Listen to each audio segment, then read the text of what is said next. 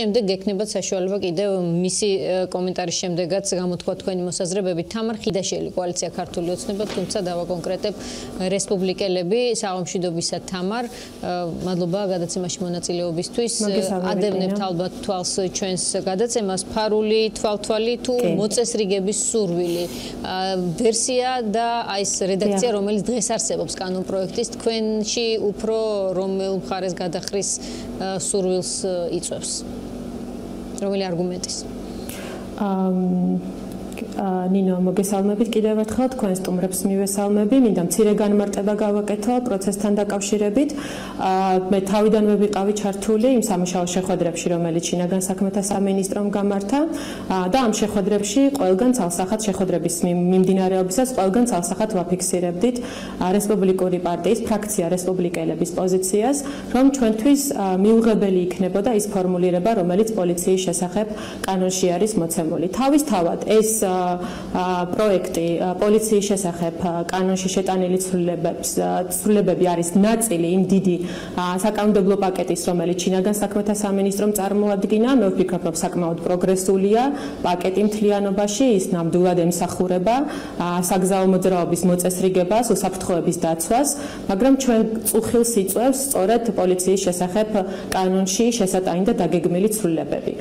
თუმცა აქვე მინდა ვთქვა რომ ჩვენს წუხილს ხილს საკმაოდ ყურადღებით უსმენდა შინაგან საქმეთა სამინისტრო მისი წარმომადგენლები და ბოლო შეხვედრაზეც კი, როდესაც ჩვენ კიდევ ერთხელ განვიხილეთ ამ პაკეტის სხვადასხვა შემადგენელი ნაწილები, შინაგან საქმეთა სამინისტროს წარმომადგენელმა დამიდასტურა, რომ ამ ფორმულირებასთან დაკავშირებით შინაგან საქმეთა სამინისტროში ჯერ კიდევ მიმდინარეობს მსჯელობა და საბოლოო მოსაზრება არ არის ჩამოყალიბებული. რა ფორმულირებასთან დაკავშირებით კონკრეტულად რაში დაგეთანხმდა ნაწილობრივ მაინც? კონკრეტულად კონკრეტულად კონკრეტულად 27 მუხთან დაკავშირებით, სადაც მითითებულია, რომ პოლიციას რეალურად შესაძლებლობა აქვს ამოსაცნობი ნიშნების გარეშე მოძრავი ავტომობილის საშუალებით მოახდინოს ჩაწერა. სწორედ ამ მუხთან დაკავშირებით 27 მუხლის მეორე ნაწილთან გვაქვს შენიშვნები. მე ვიზიარებ იმ პოზიციებს, რაც გამოითქვა ამ კანონთან დაკავშირებით, ის ეწინააღმდეგება პერსონალური მონაცემების დაცვის შესახებ კანონის მოთხოვნას, რომლის მიხედვითაც ყველგან უნდა იყოს განთავსებული წარწერები, სადაც მიმდინარეობს ჩაწერა. რამდენადაც ვიცი, მუხლის ამ ფორმულირებასთან დაკავშირებით ასევე შენიშვნა აქვს პერსონალურ მონაცემთა დაცვის ინსპექტორს, რომლის მოსაზრება ამ შემთხვევაში ჩემთვის ნამდვილად იქნებოდა გადამწყვეტი.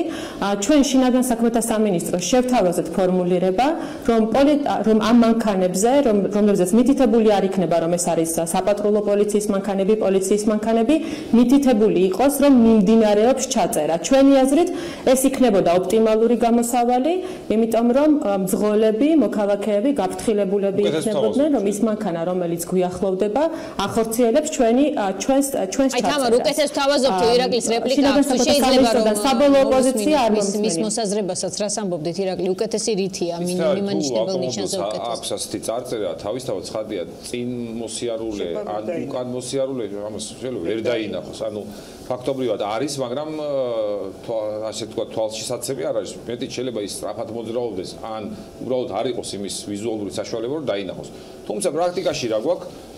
იქ სადაც არის კამერა დამონტაჟებული, მანამდე რამდენიმე ადგილას არის ამის მინიშნება, შესაბამისად, კიდევ ერთხელ ვიმეორებ, რაზეც თქვა შინაგან საქმეთა სამინისტრო. ქუჩაში მოდი დავაზუსტოთ. ისედაც არის ნიშნები და იმ სივრცეში იმოძრავებს ეს ფარული კონტროლი. რა თქმა უნდა, მხოლოდ იმ სივრცეში ექნება უფლება, რომ ფარული ჩაწერა განაცხადოს, ოღონდ მხოლოდ იმ შემთხვევაში, როცა დაიწყებს ის გასაგებია, მადლობა, დაუბრუნდეთ მოდი თამარს. თამარ, ეს ფორმალური ხო არ იქნება მხოლოდ ეს თქვა მიკრული პატარა ნიშანი, იმიტომ რომ ბევრი მხრიდან შეიძლება არც გამოჩნდეს მე თვითონ ძღოლები გზას რომ მაინც და მაინც პატარა ნიშანი უნდა უფრო მეტად. ქალბატონო ნინო, არ მithქვამს მე რომ მაინც და მაინც პატარა ნიშანი უნდა იყოს მიკრული, აუცილებელი არის პერსონალურ მონაცემთა დაცვის შესახებ კანონის მოთხოვნებიდან გამომდინარეობს, რომ როდესაც ხდება ადამიანის პერსონალური მონაცემების დამუშავება, ამ შემთხვევაში ამ ადამიანმა წინასწარ უნდა იცოდეს ამის შესახებ შესახებ და სწორედ ამას ემსახურება გამაფრთხილებელი ნიშნები, ამას ემსახურება პოლიციის შესახებ მოქმედ კანონში ჩანაწერი, რომ აუცილებელია მოქალაქემ იცოდეს, რომ მისი ჩაწერა ხდება. ეს ჩვენი მხრიდან ვფიქრობ, რომ იყო არის იყო და არის ოპტიმალური შეთავაზება შინაგან საქმეთა სამინისტროს მიმართ და ძალიან დიდი იმედი მაქვს რომ სამინისტრო ამ მოსაზრებას გაიზიარებს. თამა რისკს ხედავთ თუ არა შესაძლოა აი ეს კანონი იქცეს ნიშანზე რომელიც მოქალაქეს მისცემს საშუალებას დაარეგულიროს მისი მოქმედება. ფორმებზე დავოთ. მე მე მე მიმაჩნია რომ ზოლისთვის საგზაო ნიშანი განთავსებულია მის მარჯვენა მხარეს.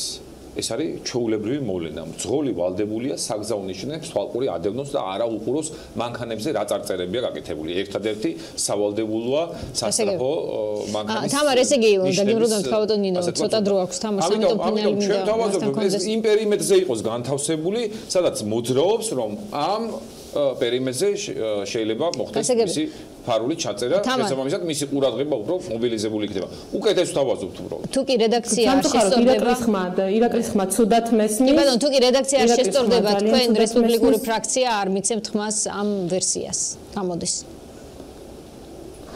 ა იმ ფორმულირებით, რომელიც მე ხელში მიჭირავს, სადაც იმაზეც კი არ არის საუბარი, რომ ამ ნიშნების განთავსება მოხდება, რესპუბლიკური ფრაქცია, რესპუბლიკელები ამ პროექტს ამ სახით მხარს არ დაუჭერს.